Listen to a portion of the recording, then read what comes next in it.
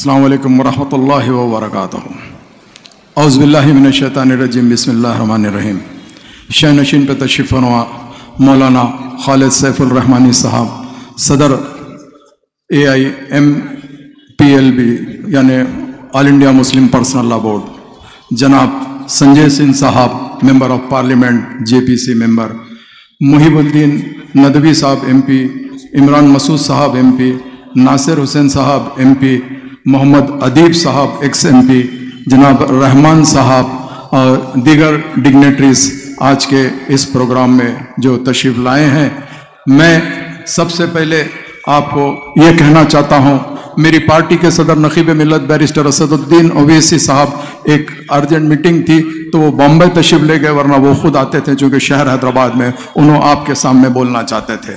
मगर मैं आप तमाम की मौजूदगी में हमारी पार्टी इस वक्त बिल अमेंडमेंट की आज जो कॉन्फ्रेंस हो रही है, जो पार्लियामेंट में इंट्रोड्यूस की गई है, उस बिल की मुखालिफत करती है और मुस्लिम पर्सनल लॉ बोर्ड जो भी हुक्म देगी, उसकी हम पूरी तायद करेंगे। बल्कि तो हम ये कहेंगे कि मुस्लिम पर्सनल लॉ बोर्ड आगे बढ़ के आए और ये बता दे, जितने भी सेकुलर हमारे लोग हैं, उसके साथ मुसलमान तमाम के तमाम एक अच्छे तरीके से एहतजाज करना चाहिए। चाहिए और यह हुकूमत हिंद को बता देना चाहिए कि तुम्हारी हर चीज़ हम बर्दाश्त नहीं कर सकते हैं। इसीलिए हम बर्दाश्त नहीं कर सकते हैं। हमने आज तक सब कुछ देखा है। हमने बाबरी मस्जिद को खो दिया है। हम दोबारा 6 दिसंबर उन्नीस नहीं देख सकते हैं। अगर वक्त अमेंडमेंट बिल इंट्रोड्यूस करके अगर आप की कोशिश करेंगे तो इंशाला ताला 20 करोड़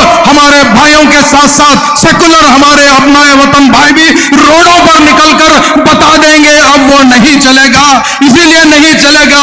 बहुत हो चुका है। हमने 2014 से हर चीज़ बर्दाश्त कर चुकी है। ऐ नरेंद्र मोदी, तुम्हारी हटदर्मी हरगिज नहीं चलेगी, इसीलिए नहीं चलेगी। आप जानते हैं, ये वह बिल जो आएगा तो वह बाई यूज़र जो इन्हों कहना चाहते हैं तो हम ये पूछना चाहते हैं कि भाई ये हमारा मेन जो हमारे बुज़ुर्गों ने जो वक्त जायदाद किया है, उन्होंने मंशा वक्त के हिसाब से किया है, अगर फ़र्ज़ करो, मेरे वालिद मस्जिद बनाते हैं, मेरे वालिद मदरसा बनाते हैं तो आखिरी तक ताकयामत तक वही रहेगा। किसी ने मंशा वक्त के तहत स्कूल खोलता है, किसी ने मंशा वक्त के तहत अगर पानी का कुआँ खोदता है तो वो मंशा वक्त रहेगा।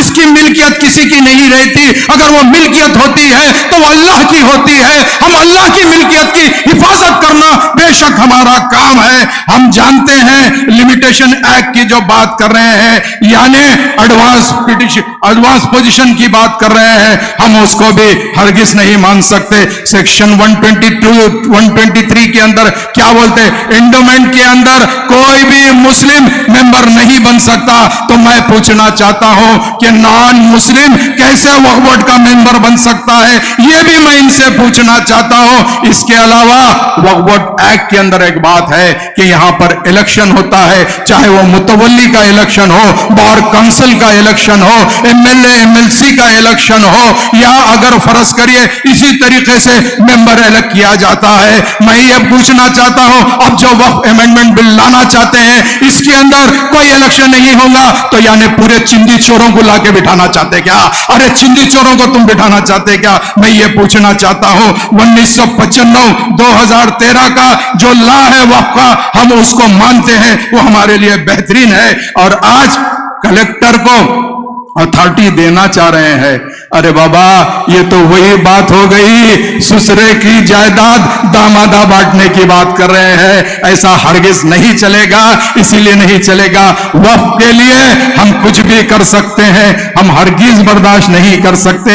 और एक बात यह है, वो बिल के अंदर अगर फ़र्ज़ करिए कोई वफ प्रॉपर्टी बेचता है तो उसके ऊपर केस अगर होगा तो वह बेरेबल ऑफेंस है। हम ये पूछना चाहते हैं वफ की प्रॉपर्टी आखिर किसकी प्रॉपर्टी है? अल्लाह की प्रॉपर्टी है। अगर उन्हें बेचता तो कैसे बेचेगा? उसका मालिक थोड़ा ही है, उसके ऊपर hundred percent hundred percent non bailable दफ़ा लगना चाहिए और रजिस्ट्रेशन कैंसिल होना चाहिए। और एक बात, आज अगर यू नो वक्फ बिल जो इंट्रोड्यूस करे हैं, अगर वो वक्फ बिल अगर इंट्रोड्यूस करे, सो अगर पास हो जाएगी तो हमारे मस्जिदें नहीं रहेंगी, दरगाहें नहीं रहेंगी, खबरस्तानें नहीं रहेंगी, आस्थाने चिल्ले और कुछ नहीं। खासतौर से हमारे शिया भाइयों के लिए जो आशुर खाने होते हैं, इमाम बाड़े होते हैं, नियाज खाने होते हैं, ये सब के लिए ये लोग हमेशा यही सोच रहे हैं। तो मैं ये कहना चाहता हूँ, वक्फ बिल के अंदर ट्रिब्यूनल की भी बात होती है। आज ट्रिब्यूनल के अंदर तीन मेंबर होते थे। एक डिस्ट्रिक्ट जज होता था, एक आरडीओ लेवल का, और दूसरा एक मुस्लिम एडवोकेट होता था, जो इस्लामी तरीके से जानता था। मगर आज वक्त बिल आ जाएगा तो सिर्फ़ दो मेंबर रहेंगे, वो भी अपनी मर्ज़ी के रहेंगे, चाहे वो रिटायर्ड जज हो, और उसके अलावा ज्वाइंट सेक्रेटरी भी हो। तो मैं आपसे यह कहना चाहता हूँ अगर ये वह बिल आ जाएगा तो मैं समझता हूँ कि हिंदुस्तान के मुसलमानों के लिए एक एनआरसी के तौर पे आ रहा है। एनआरसी के तौर पे आ रहा है।